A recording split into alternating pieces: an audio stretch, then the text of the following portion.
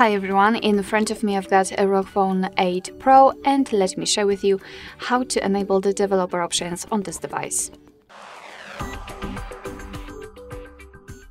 So let's start with opening the settings and then we have to scroll in order to find the system.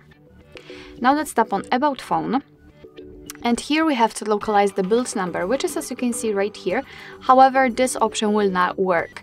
Uh, so all we have to do is to scroll down to the very bottom and tap on software information. And there we've got the build number. Right now we have to keep tapping on it until we will see that we are in the developer mode. And after that, we can simply go back to the system settings and enter the developer options. They will be in the same list. And as you can see here, we've got plenty of advanced settings which we can customize. So for example, we can uh, manage the media transcoding settings. Uh, we can show surface updates, show visual feedback for tabs. Here we've got some options which are connected with the Bluetooth and overall to the networking because we've got also the Wi-Fi and USB settings.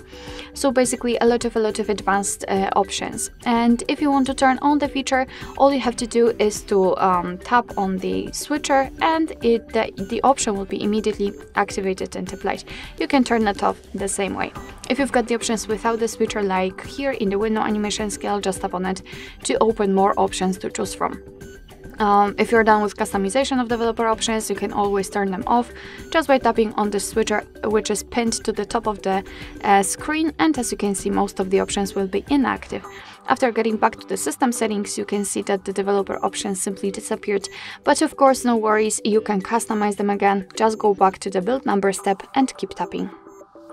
Alright, so that will be all. Thank you so much for watching. I hope that this video was helpful and if it was, please hit the subscribe button and leave the thumbs up.